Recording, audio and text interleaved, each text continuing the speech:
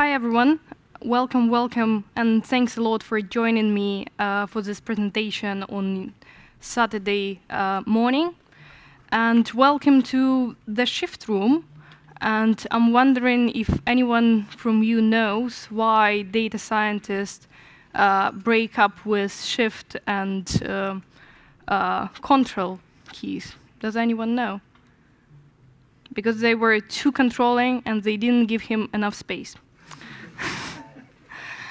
So, hi everyone. Today I will demonstrate how Haleon uses computer vision and cloud technology to manage its digital assets.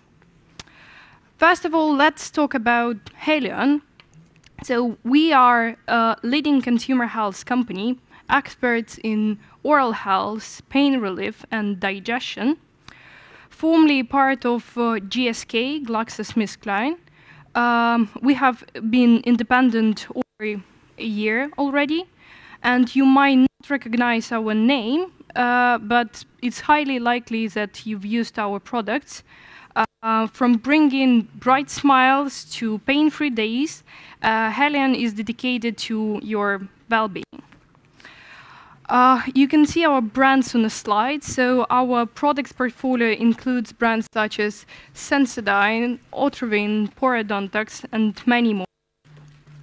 And as a market leader, uh, we possess an extensive collection of campaign materials which are dedicated to reaching consumers in need. And this vast repository uh, contain over a petabyte of digital assets. So what the digital asset is, you can see some examples on the slide, but roughly saying, uh, digital asset could be anything, any form of, of, content or media that exists in digital form and has value. These assets can include files of in or information stored electronically, such as images, videos, audio files, documents, and many more. So you can see in Haleon, it's usually promo videos, package shots, um, web banners, uh, but it also could be like a software file, it could be a Pythonic file, some ecoms file like in PDF format, or etc. And managing this vast and um, varied data set isn't easy. So we need to ensure uh, that our files are easy to find, to understand, and to reuse, not to lose money and to remake every digital asset, every web, web banner from time to time. So that's the place where metadata comes in. Uh, so what is metadata? You can see several examples of just random file from a laptop here. So think of metadata uh, as a personal dossier uh, which, detail, uh, which gives you details about files origin, about content, and many more. Uh, and my team created a smart cloud-based solution to populate this metadata. Um, so this solution digs in, uh, digs out the keys information like brand, category, campaign details, and all the other details um, from the from the file. We also threw in some relevant keywords to each asset from the content uh, it contained to make everything um, super scalable, accessible, and user-friendly. Uh, so you can see an example of metadata of a, a common uh, Haleon file. So you can see a file, and we uh, uh, we can see that we have brand Sensodyne, sub-brand Pronamel, its oral health category. It was written in Spanish. We managed to extract some keywords, some uh, text that was written inside the file. So it's PNG, so it's highly likely it was an image. And the age of the uh, assets is from five to seven years which is a very uh, useful information for us because when we search for a promo video, we want to um, get the, the most up-to-date video to stay, to stay tuned, to stay up-to-date, and not to use um, assets that are too old. So the next question is how to get information about the asset. And there are two sources of information. The first one is file path. It's basically the name of the folders where the file is contained and the, the file name itself. And the second source is the content inside the file. So it's if it's an image, it's just an image, or if that's a video, it's what's inside the video, what text we can see on this video, and uh, and so on. So imagine that we have this digital asset. It's um, a Sensodyne Pronamel pack shot. And what, uh, how can we populate metadata? Having this image and having this file path, which you can see above. Um, so we can see here in the file path oral health, so that's probably category, it's two-spaced, uh, the brand name, Norway, that's probably the market. So all this information is useful for us. Uh, yeah, and from, from image, um, we can extract some inf uh, information um, showing the digital asset to Azure Cognitive Services. And uh, Azure Cognitive Services uh, extract some tags, which is description of the image, it's like basically a neural network that gives you some key information about what is presented in the image. So for this specific packshot, we got tags design, screenshot, text, and Sensodyne. And when we have a tag text, uh, then we use OCR, which stays for optical character recognition. So we extract all the tags, all the words that we can find in this image, and so you can see in this example that we managed to extract some text, rebuilds, restores, uh, daily protection, Pronamel, and we combine these tags and text, and this is how we get our keywords.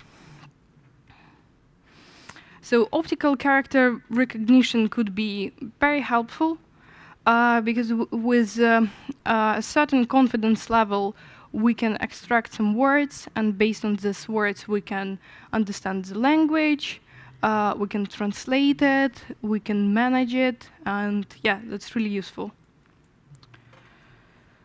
So the next question is um, how do we how do we understand uh, what brand is written in in the stacks?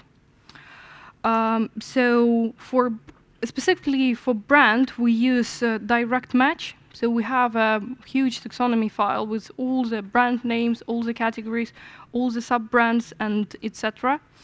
Uh, and we just search uh, brand by brand, if we have the exact match or like a very close match with the brand name in the string uh, that we extracted from, from the image. So here you can see that we have this pack shot, we have GSK, Sensodyne, Repair and Protect, 75 milliliters, that's the words that we extracted from the image. And we just um, look at the matches of the brands with the string. So Sensodyne has a match because we have the word Sensodyne within the string. And when we want to um, find a sub-brand, we do some fuzzy magic techniques. So we basically look um, at the Levenshtein distance between the sub-brand names that we have in taxonomy files and um, the strings that we have uh, from the image. So Levenshtein distance, you can see a formula on, on the slide. It may seem very tricky, but uh, basically, um, let me give you an example how you calculate it. For example, you, you want to calculate Levenshtein distance between the word kitten and sitting. So you can change the word kitten to sitting in three iterations. So you firstly substitute S for K, then I for E, then you insert G at the uh, uh, in the end, um, and that's how you get a new word. So that's Levenshtein distance. Uh, so we have a threshold, and then we choose our sub-brand and populate it in, in metadata.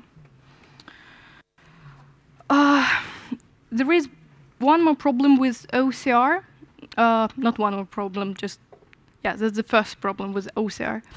Um, OCR takes images that are of supported file type and supported size. And uh, majority of digital assets are not in OCR compatible format. Um, these kind of files firstly go through preprocessing stage.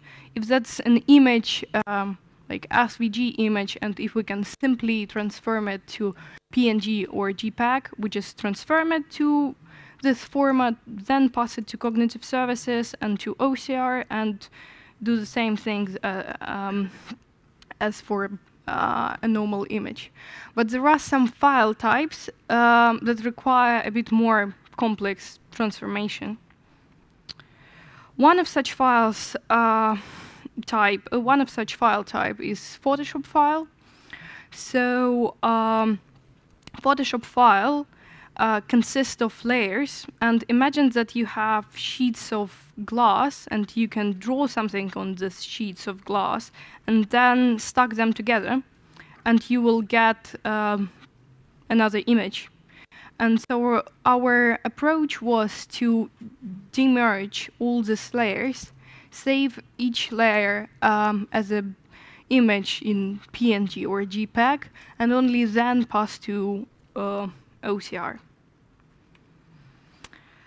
And the most challenging file um, format um, was uh, was video, and um, it's really tricky because video files are the most expensive, so it can cost thousands of uh, hundreds pounds to produce like a small uh, promo video for our company. So it, it's really important not to lose this asset.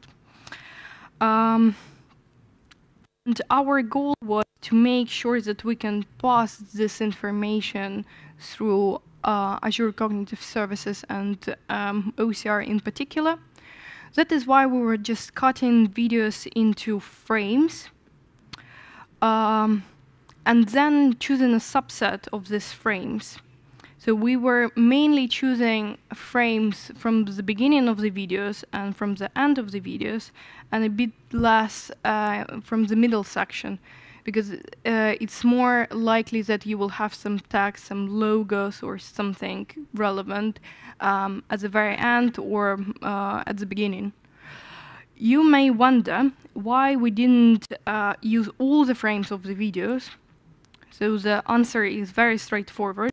It's costly to use uh, all the frames uh, because to uh, analyze one image, it costs some, some amount of money, and uh, if it, that's a long video, it could contain uh, hundreds or thousands of uh, frames, so that's why we need to subset. Um, and we can be um, even more smart uh, we can combine uh, these frames just into one storyboard, um, just to put them all together and pass only one image for one, one uh, video file um, to the Azure Cognitive Services and to OCR. That's, that was our, our solution. And it's really important to mind that um, there is a limit on number of pixels that you can pass to cognitive services. Um, so it was another challenge to understand what's the best way to fit in as much as possible frames into one storyboard and make sure that uh, we have all the information that is useful for us. Uh, so let's su summarize our approach. So imagine we have a file, tagged, and we want to make a tagged file from it. Uh, so first of all, for each um, uh, file, even if that's Pythonic file or if it's an audio file, we, uh, we do the file path mining for it. Try to get as much info as possible from the name of the folders where the file is uh, placed. Then, depending on the format, we do some pre-processing Uh, so we either just change the, um, the extension from SVG to PNG, or it's require more complex preprocessing, like uh, videos or like Photoshops, and then we pass to cognitive services and OCR. If the file is uh, already in uh, OCR compatible format, we just pass it directly to cognitive services. So then we um, extract all the relevant information, use uh, fuzzy matching, uh, use some other techniques to get all the info, and then populate the metadata fields. That's how we get the tagged file. So you can explore um, a bit, you can deep dive into this um, topic a bit more if you follow us on uh, our uh, Medium. So you have a QR code. We have uh, two articles written by my colleague um, about this this specific topic. Uh, but we you can also explore our AI business solution in depth. Uh, visiting our blog, discover wealth of technical and non-technical articles, and get to know our team members as well. Um, stay updated and engaged by following us. I'm keep promoting the blog. Yeah, I can see several people who are scanning the co code. They're doing the right thing. Um, yeah, and thanks a lot for your uh, attention. So if you have any questions, you can um, find me. I will be attending different uh, talks and we can chat during lunch. Thanks a lot.